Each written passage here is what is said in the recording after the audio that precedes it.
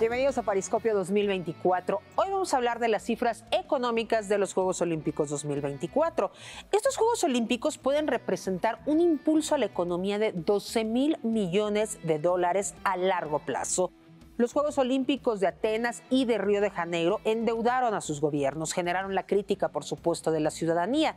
En París, para evitar un endeudamiento, invirtieron en infraestructura que tras la competencia va a seguir generando ingresos al país.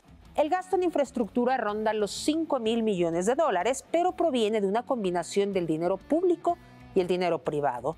En el ámbito laboral, estos Juegos Olímpicos 2024 en París van a generar más de 15 mil empleos, los cuales, de acuerdo con varios portales económicos europeos, van a generar un sueldo promedio de entre 3.100 y 3.900 euros durante el mes de la competencia. La organización parisina también dijo que espera entre 2.3 y 3.1 millones de visitantes extranjeros, una estimación que está basada en la venta de las entradas para los Juegos Olímpicos. En total, se prevén un total de 16 millones de visitantes en París y sus alrededores. Por ejemplo, los hoteles de París ya han aumentado en un 200% el valor de sus estadías. Con estos Olímpicos, el gobierno francés buscó invertir en obras que ayuden a los parisinos a largo plazo. La inversión hecha también incluye una fuerte mejora en el transporte público, a tal punto que el metro va a tener una estación que va a terminar directamente en la puerta del aeropuerto Charles de Gaulle. Otra estación va a terminar en la Villa Olímpica, que va a recibir 14.500 atletas y un mes después 9.000 atletas para los Juegos Paralímpicos.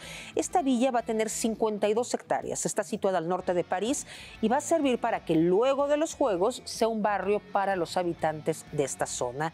Y por supuesto, los Juegos Olímpicos son una oportunidad inigualable para las empresas en materia de publicidad y visibilidad. Este año, entre los patrocinadores mundiales más importantes, hay marcas de la talla de Airbnb, Alibaba, Allianz, Coca-Cola, Deloitte, Intel, Omega, Panasonic, Samsung, Toyota y Visa. Aquí en Pariscopio les vamos a tener todos los detalles de París 2024.